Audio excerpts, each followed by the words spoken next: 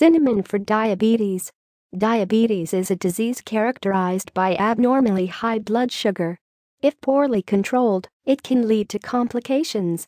People with diabetes who are interested in herbal remedies, then cinnamon may help fight some symptoms of diabetes. So, here we look at cinnamon and its effects on blood sugar control and diabetes. It lowers blood sugar after meals, it can control blood sugar spikes after meals by blocking digestive enzymes that break down carbs in the small intestine. It boosts insulin sensitivity. Cinnamon may help lower blood sugar and fight diabetes by imitating the effects of insulin and increasing glucose transport into cells.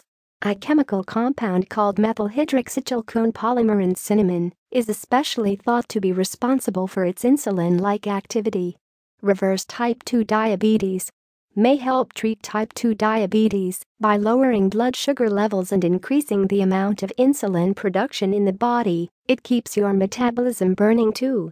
May decrease hemoglobin A1C. Cinnamon is excellent at reducing fasting blood sugar and has good effects on hemoglobin A1C, a measure of long-term blood sugar control. Rich in antioxidants, it is loaded with antioxidants that decrease oxidative stress and may potentially protect against diabetes. Lower the risk of diabetes complications. Cinnamon may help lower the risk of diseases related to diabetes, such as heart disease and cholesterol. Cinnamon is typically grouped into two different types Ceylon and Cassia.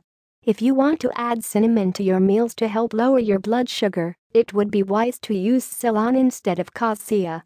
If you like the video give a big thumbs up and share with your friends. For more health tips, subscribe to my channel.